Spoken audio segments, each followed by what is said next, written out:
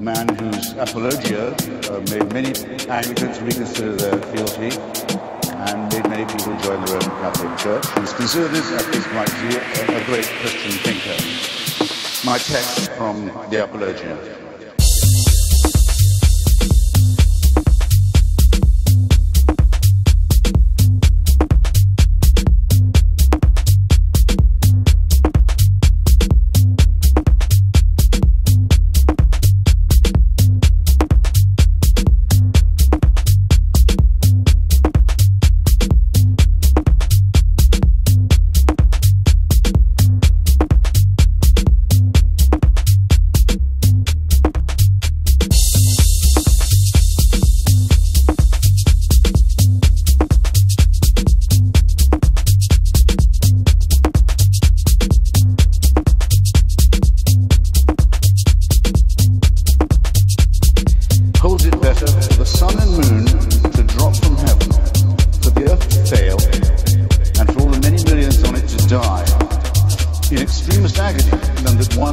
I will not say it will be lost, but should commit one venial sin.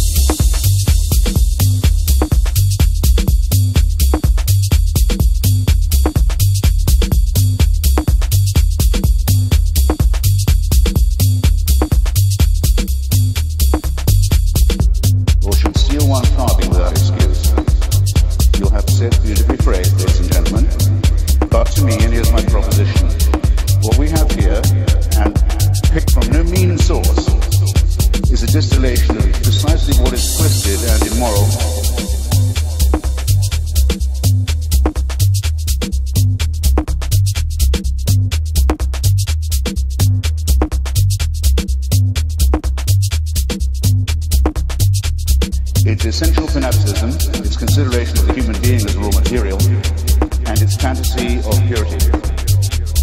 Once you assume a creator and a plan, it makes us objects in a cruel experiment whereby we are created sick and commanded to be well. I'll repeat that. Created sick and then ordered to be well.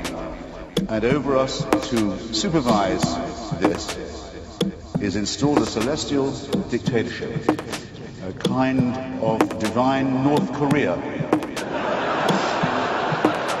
Greedy, exigent, exigent, I would say more than exigent, greedy for uncritical praise from dawn till dusk.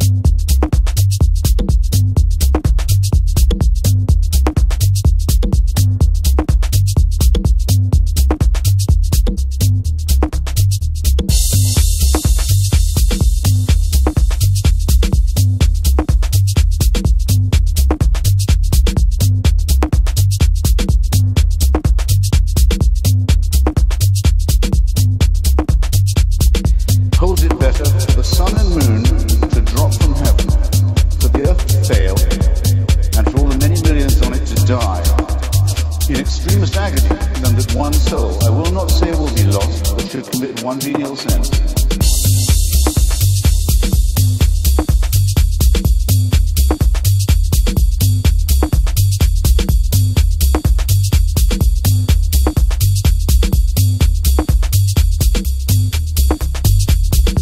or should steal one farthing without excuse.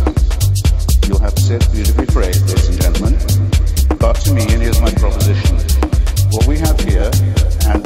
picked from no mean source, is a distillation of precisely what is twisted and immoral